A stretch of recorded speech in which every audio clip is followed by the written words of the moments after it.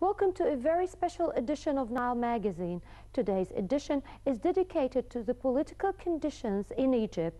Since the 30th of June revolution, Egypt has been fighting terrorism and it's insisting on continuing our roadmap to democracy.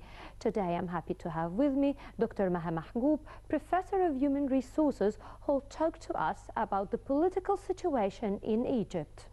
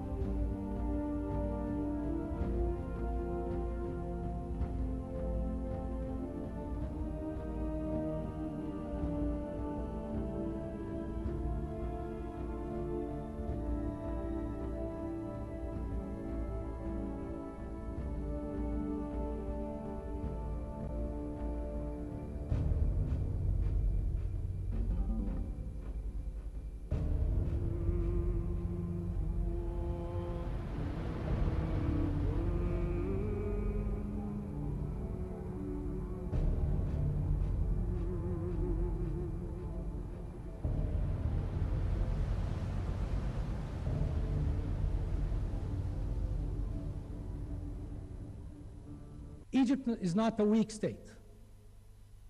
Egypt is not a satellite state. Egypt is a sovereign state that observes, analyzes, decides in due time, and fulfill and accomplishes what it decides.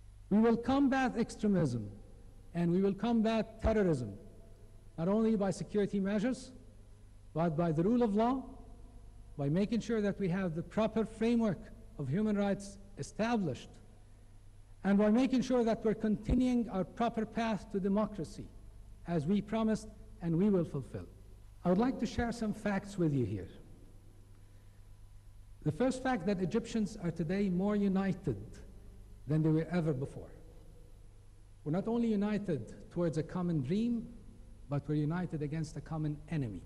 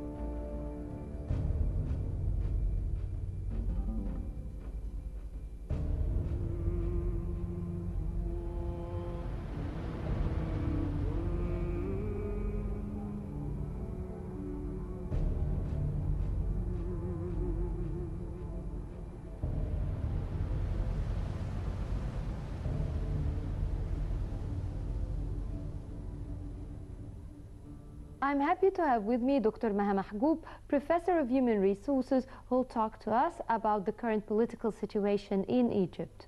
Dr. Maha, welcome. Hi, how are you? I'd like first to start by asking you about the latest development, which is uh, the statement of uh, Prime Minister, the Turkish Prime Minister uh, Recep Erdogan, Yes. uh, about uh, Sheikh al-Azhar and uh, the reaction of uh, Egypt and what should we do other than just condemn it? Yeah. Mm, Hi, how are you? Who are you? Um, actually, I uh, I was uh, monitoring the current situation, political, economic, and everything uh, for the last few days or month. And uh, of course, yesterday we had a lot of negotiations and opinions regarding the Prime Minister of Turkish. Uh, uh, about the declaration about Al-Azhar, Sheikh Al-Azhar, and uh, I'm so proud that we have a positive reaction. All Egyptian people, uh, especially the governments, have positive reaction regarding any claims or any um, uh, negative opinions regarding our uh, system or our uh, precious people. Uh, of course, I'm against uh, to cut off the economic uh, relationship between Egypt and Turkey. And I think it- the, current uh, situation is temporary, and I hope it will not be, uh, it will be enlarged later on, and uh, if we don't have uh, a negative consequence of economic or maybe violence or something like that, maybe later on, maybe we are going to have more stability in the current situation. So I think it's not we are not we don't prefer to cut off the economic or uh, our political situation with Turkey or uh, or other countries.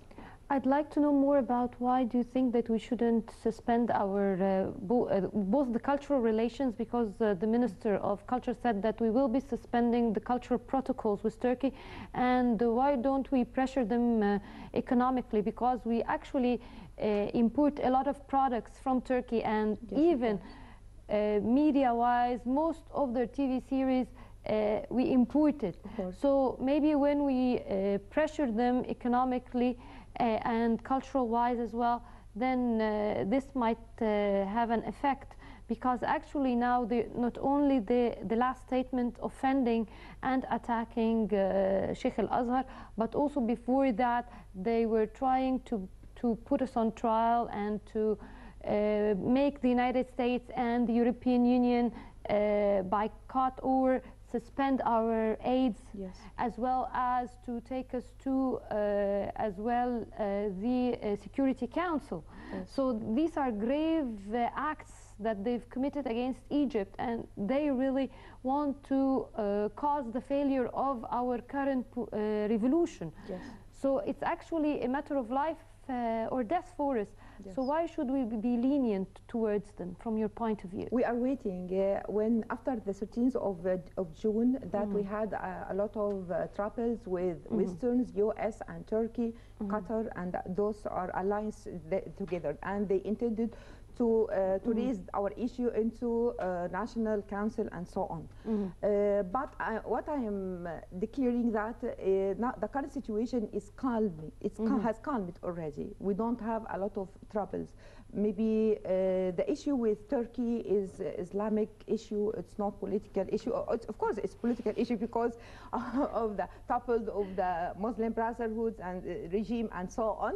But they, they, they protect uh, the Islam itself first at the first. Sorry, so sorry. what they think that it's Islam إيه، الاسلام هم هو No, no, المشكلة. because uh, because they are not protecting Islam because we are Muslims as well. yes ما They, this they is- are protecting their own agenda for uh, a terrorist group.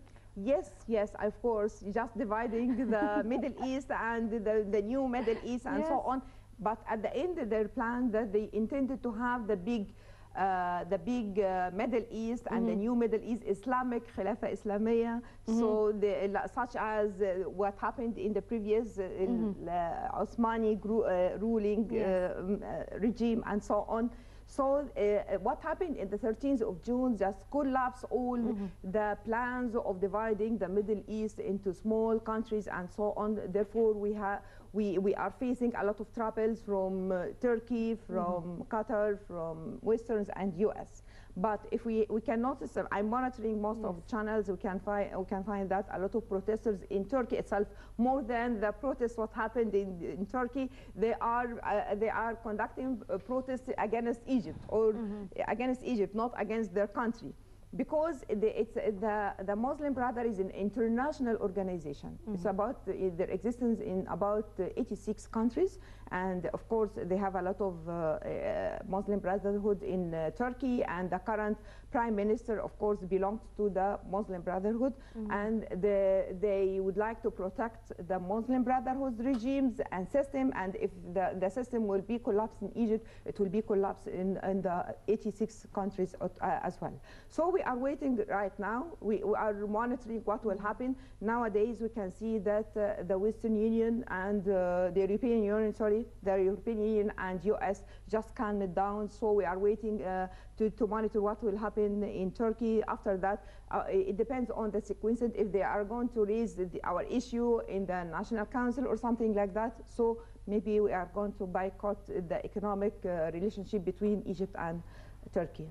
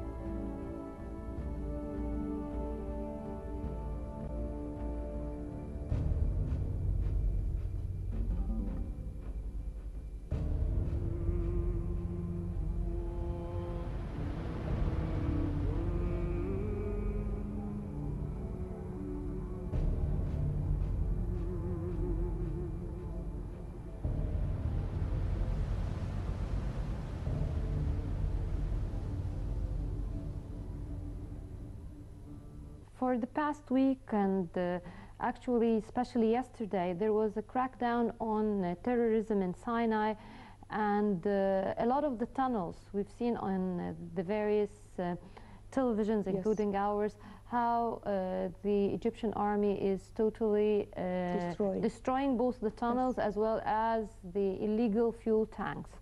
Uh, what's your comment on that? Because some are saying that actually, uh, especially those in Sinai, are saying that actually, like this, we are totally uh, besieging uh, uh, the Palestinians, and that this was the only uh, way for them uh, for re- the reliefs and humanitarian Yes.